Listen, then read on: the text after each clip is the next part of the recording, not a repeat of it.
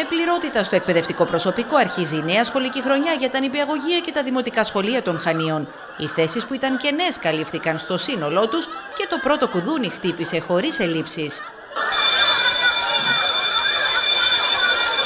Είναι μια σημαντική διαφορά σε σχέση με τα άλλα χρόνια, δηλαδή μπήκαμε στην κανονικότητα.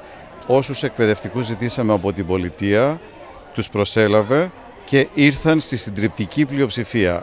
Ελλείψεις που εκτιμάται ότι θα καλυφθούν σταδιακά υπάρχουν στην ειδική αγωγή και στα τμήματα παράλληλης στήριξης για παιδιά με μαθησιακές δυσκολίες. Για πρώτη φορά έχουμε μια κάλυψη της τάξης του 25% από την πρώτη μέρα. Επίσης τα τμήματα ΖΕΠ υποδοχής όπως ονομάζονται και αυτά θα λειτουργήσουν κανονικά.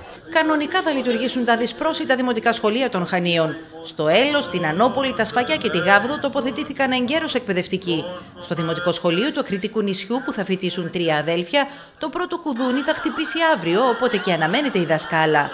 Υπάρχει το επαρκές προσωπικό εκτιμώ για την πλήρη ανάπτυξη των ολοημερών τμήματων. Ενδεχομένως βέβαια οι εκπαιδευτικοί να πάρουν δύο-τρεις μέρες και για τα παιδιά, αλλά και εκεί υπάρχει επάρκεια.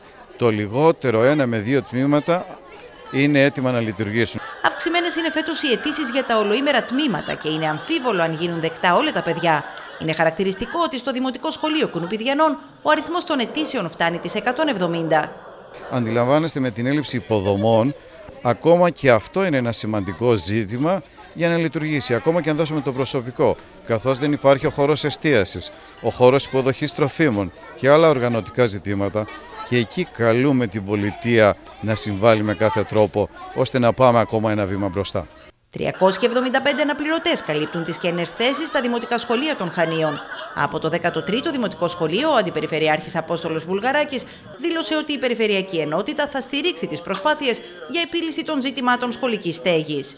Είμαστε έτοιμοι να συμμετέχουμε στην ε, κατασκευή νέων σχολείων μέσα από προγράμματα που οι Δήμοι θα υποβάλουν.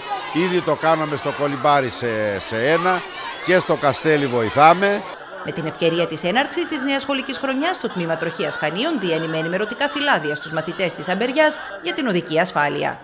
Από την πλευρά της η Τροχία θα κάνει ό,τι δυνατόν καλύτερο, με συχνές επισκέψεις σε σχολεία, με διανομή έντυπου υλικού, με προβολή οπτικού ακουστικού υλικού, προκειμένου οι μαθητές να γίνουν σωστέ χρήσει των οδών είτε ως πεζοί είτε ως συνεπιβάτες.